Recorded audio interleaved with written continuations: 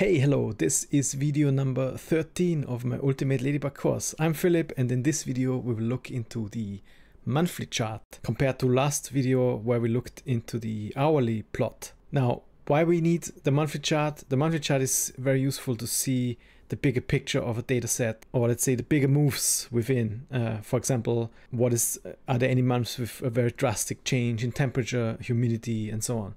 It's very good to get a bigger picture of the situation. And we will jump right in. Yeah, so this was the monthly chart, what uh, the hourly plot chart. And what we learned here was that we can not just put one data set in one object and one hourly plot object. We can put several, and that is very convenient to actually see some differences. Oh, by the way, if you haven't watched my previous videos, please go into the show notes. I will post the link to the entire playlist and make sure you watch this because we, covered a lot of stuff already. So don't miss out. Subscribe and hit the bell button. Now, this was the hourly plot we did last time and we learned that we can not just we can we can also not just put one data set but put several data sets at the same time in one in one uh, hourly plot object that's very convenient because um, it automatically organizes your plots. I'll just go into the top view, make sure that I'm in the top view. Yes, now I am. That's very convenient. We see that there's, even though, for example, the dry bulb temperature is very uh, even or very, very constant here in that data set, there is a big change in the dew point temperature and in the relative humidity. And we haven't looked at the other uh, data sets, so we could do that as well. We also learned about uh, the legend parameters about how we can dimension this, the, the plot and we learned a bit about the visual set which uh, improves the layout of these. We also learned that we can not just um, look at these in 2D, a flat graphic, but we can also use the data to scale the Z axis. And so we create this three-dimensional representation of the data. Now, if we, for example, would go to zero here, then the monthly chart is flat and we can see the, um, the layout better. Now, the problem here is that we baked one object, so that's why this is here. And we can um, get rid of this. So we can see the actual layout um, and the lines here much better. So that was the uh, hourly plot. And that needs an hourly data set. Actually, any data set does work as long as it's a data set. And we talked about data sets before as well. Now, what about the, the next one? The next one is the monthly chart. It's very similar. There's, um, and we will go through uh, each of these options. Again, we can put more than one data set, but let's start with one. Let's put the bulb temperature here. It's already putting a, it's already creating a chart. Again, we want to place it close to here. So at the moment it's placed somewhere here. You can see it. Now let's get a point. I already prepared a point here and already that gives us a, a chart, but it looks quite weird. Looks, it's gonna be hard to read and understand what's actually going on here. Now, when we talk about monthly data, we need to make sure that we understand, um, first of all, how we want to display it, and second, what we want to look at. Is it the maximum, the minimum, the average, a percentage, and so on.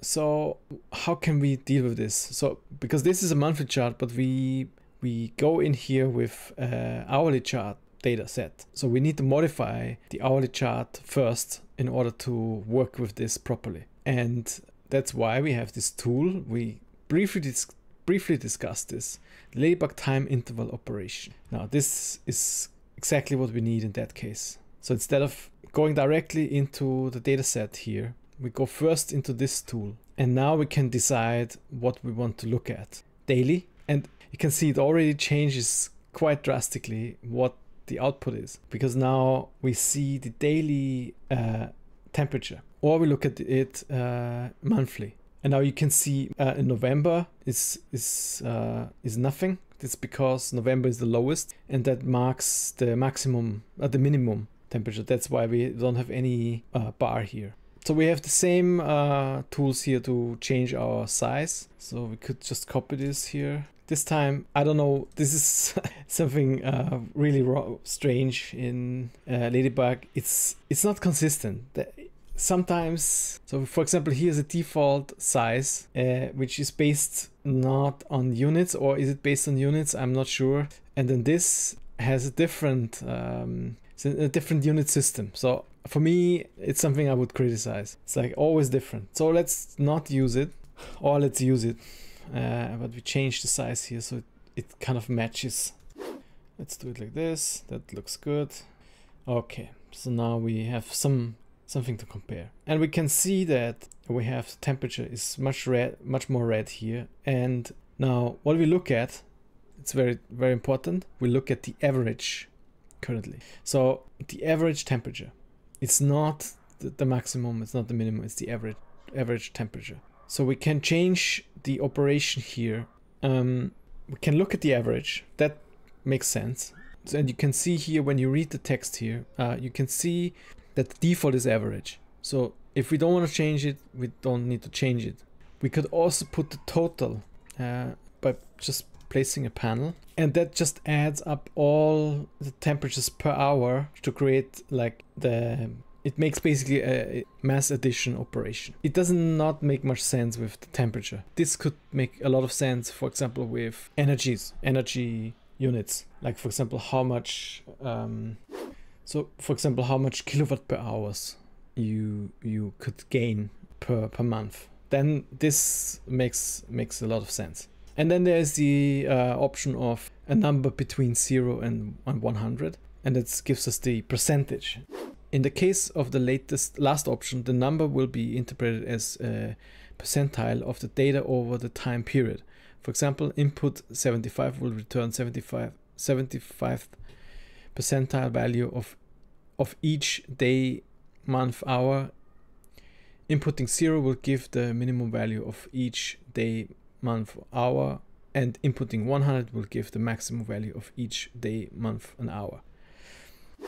That only works, of course, if we have um, a percentage, a data which represents percentages. So at the moment, we, we have just the normal data. That's what we look at. That's why we keep it average.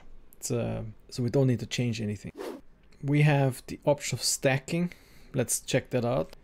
Okay, so stacking, what does it mean? So now, for example, I have two different data sets. One is the dry bulb temperature, one is the dew point temperature. Um, it should actually be, let's try this here. The stacking option, so if we now have two two uh, data sets in here, it automatically puts it in the same chart. Quite interestingly, not create doesn't create a new chart. Um, and the stacking option says here it would basically if you have uh, two data sets with the same unit, it should be then you can uh, you can stack the the the temperature. For example, temperature. If it's temperature, um, then you can stack the output on top of each other. And in, as it is here now, it's placed next to each other strangely though, I cannot really. I'm not. I, if I go on through to stack it, it doesn't really stack it. Although both is uh, temperature, dry bulb temperature and dew point temperature. Interestingly.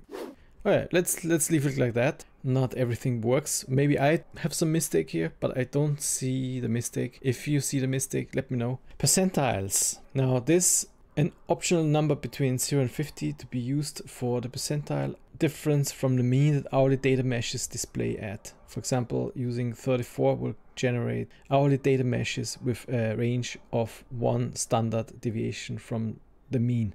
Note that this is input only as signif has significance when the input data collections are hourly.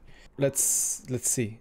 So this would be my hourly data set. If I change the percentile here, let's, let's do exactly what they said 35 so you can see the percentage uh, deviation from the average temperature so i guess the the line here is the average temperature and this shows the deviation from it okay um let's stay with our monthly chart that here nothing nothing changes and we have the dry bulb temperature and the dew point temperature here time marks you can change here if, let's just do it. It just changes the time mark. Instead of, instead of the month as labels, it changes to hour. But let's keep it as we had it. You can change the title. For example, temperature. The y-axis title you can change because at the moment we look at um, temperature. We could say, I'm just making up things now. And then we have the same the same um, option here. We could put uh, different legend parameters. Let's just reuse our legend parameters so you see that we can use it not just once but several times. We use the same color set here. It's a bit dark, but yeah, that's what it is. If we put more stuff in here, that could be interesting. Let's put also the uh, humidity, wind speed. It's interesting here. And then, yeah, what the out, what is the output? Let's see what the output is here. Report. Again, there's nothing because we don't have an error. We have the data mesh. We discussed it last time. So everything you see here is are meshes and texts and lines. In, interestingly, it says here invalid mesh. Not sure why. Data lines. See, you see there are a lot of curves in there. Then you have the color polylines. Again, says here um, only if this is hourly, either monthly or hourly input. The legend again. So this is the same the same as with the daily uh, the hourly plot. So you can you can bake everything into meshes and texts and lines. Borders you see here, labels, the Y title. It's not about how it puts out the Y title here, the title, and then you have the same as we had before. We have the visual set, visualization set. We can use the same here, same tool. Place this in here and just creates a, a, a bit more cleaned up version of that set. And then we have some overlapping stuff here, but this is because we haven't turned off this one. That's the monthly plot. So this will be super useful later when we want to check um, how many hours per day, how many hours per month, how many kilowatt per hours, and so on. It's and as a as a tool com to compare to compare things, uh, it's quite useful. And you see, although this this this chart looks very doesn't change much during the whole year. Actually, there is some big changes, especially in the middle of the summer. There is quite quite a big change humidity drops here quite a lot. At the same time, dry bulb temperature goes up, wind speed goes up. Yeah, so there is some difference. All right, that's it. Um, I hope you enjoyed this video. Subscribe, hit, hit the bell button and see you in the next video.